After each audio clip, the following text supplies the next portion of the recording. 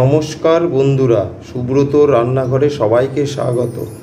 আজ আমি আমার অত্যন্ত প্রিয় একটি রেসিপি আপনাদের সাথে শেয়ার করছি, মোরলা মাছের ঝাল। আপনারা সকলেই এই রেসিপিটির সাথে ভালো মতোই পরিচিত, কিন্তু আপনারা দেখে নেন আমি কীভাবে এই মোরলা মাছের ঝাল বানাচ্ছি।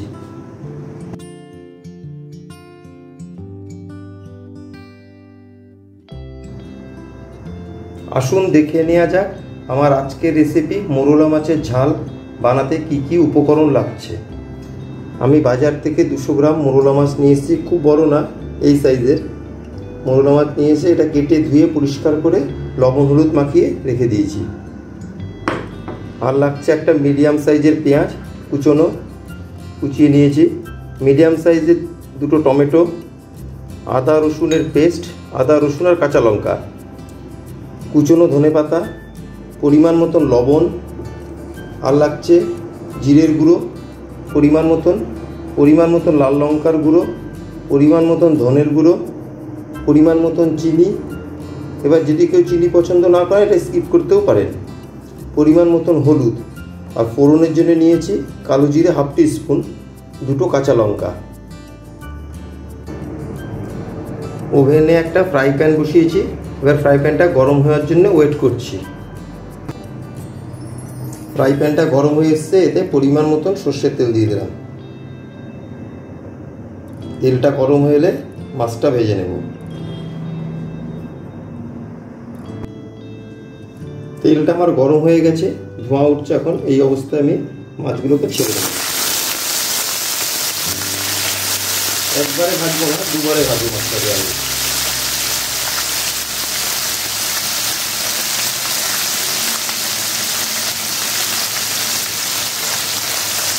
খুব বেশি ভাজবো না, কড়া করে। হালকা ব্রাউন কালার হলে উঠিয়ে দেবো লো টু মিডিয়াম হিটে মাছটাকে ভেজে নিতে হবে। মাছের এক পিঠ ভাজা হয়ে গেছে। আর এক পিঠে ভেজে নেবে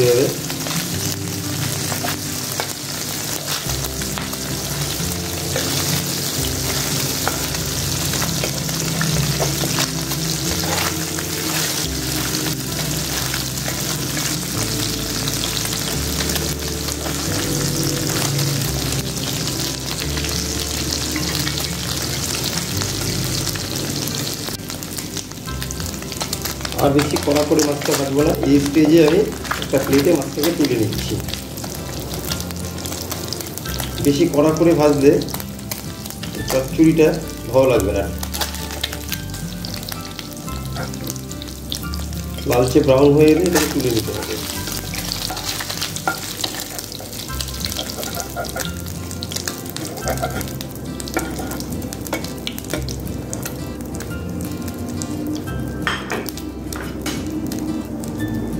এইভাবে আমি আর মাছটাও ভেজে নিচ্ছি।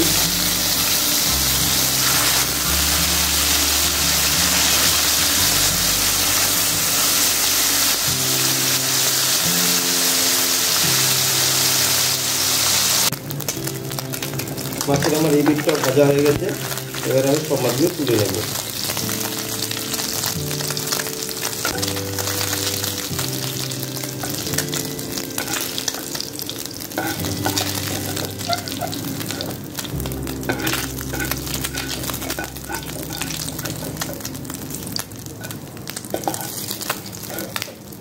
এই মাছ ভাজার তেলেই আমি দুটো কাঁচা লঙ্কা দিয়ে দিলাম। হাফ টি স্পুন কালো জিরে। দিয়ে দশ থেকে বারো সেকেন্ড একটু নাড়িয়ে এর মধ্যে পেঁয়াজ কুচিটা দিয়ে দিলাম।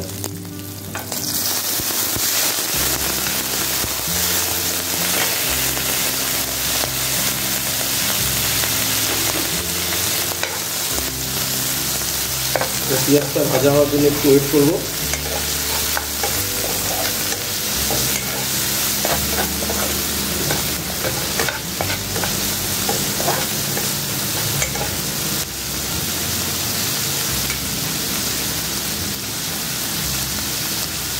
পেঁয়াজটা হালকা ব্রাউন হলে এর মধ্যে টমেটোটা অ্যাড করে দেবো।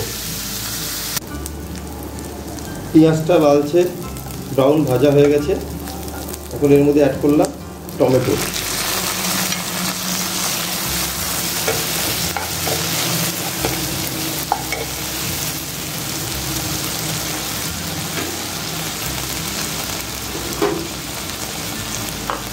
হাফ টিস্পুন লবণ দিয়ে দিলাম।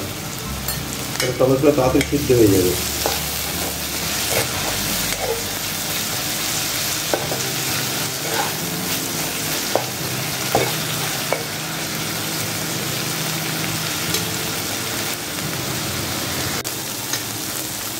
টমেটোটা গলে এসছে।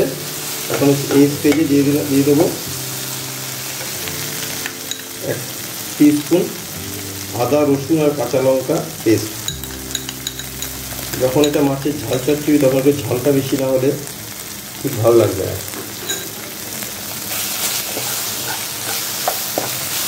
দিয়ে ভালো মতো সব মশলা একসাথে মাখিয়ে নেবে।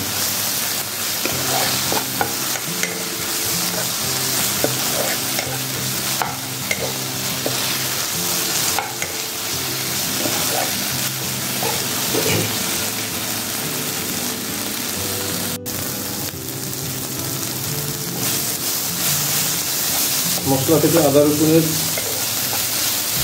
গন্ধটা চলে গেছে, এখন এতে সামান্য উষ্ণ গরম জলের উষ্ণ গরম জল দেওয়ার পরে একে একে গুঁড়ো মশলাগুলো আমি দিয়ে দেবো। জলটা দিলাম যাতে গুঁড়ো মশলাগুলো দেওয়ার পরে নিচে লেগে না যায়।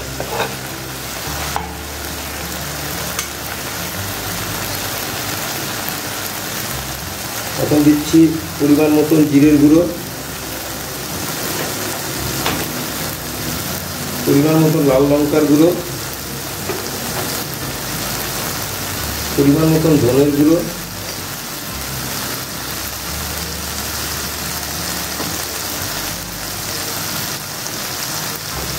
পরিমাণ মতন হলুদ।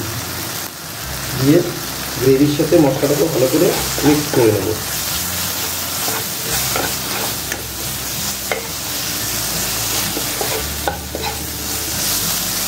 মশলা একটু। ফ্রাই হয়ে এলে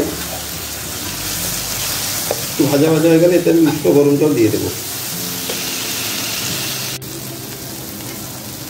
মশলা থেকে তেলটা আলাদা হওয়া শুরু হয়েছে। এখন আমি এতে অ্যাড করব উষ্ণ গরম জল। খুব বেশি জল দেবো না। জাস্ট মাখা মাখা হবে।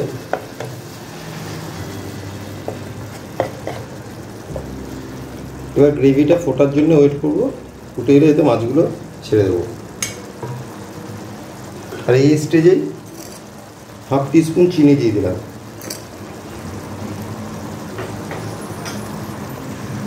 চিনিটাকেও ভালো মতো গ্রেভির সাথে মাখিয়ে নিলাম। দিয়ে এবার কিছুক্ষণ ফুটতে ফোটার জন্য ওয়েট করব।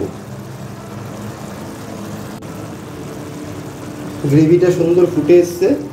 এখন আমি ভেজে রাখা মাছটা অ্যাড করে দিলাম। দিয়ে ভালো মতন মাছের সাথে গ্রেভি মিক্সড করে দেবো।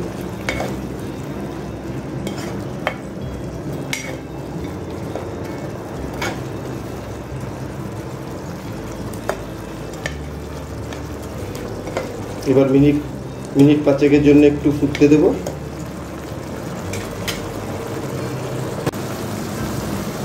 পাঁচ মিনিট পর ফিরে এলাম। এখন সামান্য ধনে পাতা অ্যাড করব। ধনে পাতা দিয়ে ভালো মতন মিক্সড করে নেব।